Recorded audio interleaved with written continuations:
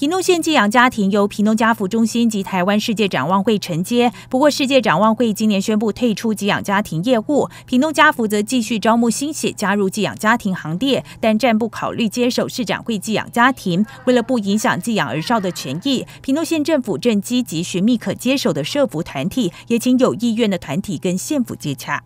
我们觉得有像家福基金会这样的伙伴，对我们来说还是很重要的，因为寄养业务是。发展到台湾四十几年的时间，它已经是一个很专精的专业了。对，那政府不可能所有事情都自己来做。如果有好的团体，我们呃希望来尽快来跟县政府来接洽哈，我们会请全力的来做，跟民间团体一起协力来做好这件事情。县府社会处表示，屏东县寄养家庭市长会有五十六户安置六十四名儿少，家扶中心有六十四户安置七十七名儿少。社会处长刘美淑说，屏东县每个寄养家庭的寄养证书都是县府发的，所以都是县府的寄养家庭，因此服务会继续，无关市展会有无结束。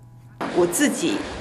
呃亲自跑了三场，对呃目前在世界展会手上的寄养家庭做了三场的。说明会啊，告诉我们现在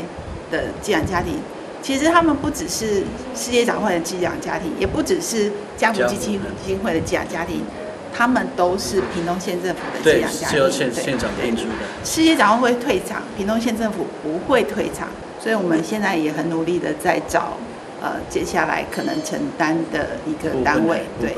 那如果真的找不到，我们也不排除县政府自己接下这个工作，所以也不要太担心，就是这是我们一定要做的事情。刘美淑说，屏东县寄养家庭每月补助费用从两万五千六百一十四元提高到两万八千四百六十元，少年部分是三万多元。寄养家庭是半专业半志工的工作形态，市展会的寄养家庭大部分都愿意继续服务，县府正积极寻觅民间团体接手。若最后找不到，县府会一肩扛起，绝对不会影响寄养儿少的权利。记者张如杨正义采访报道。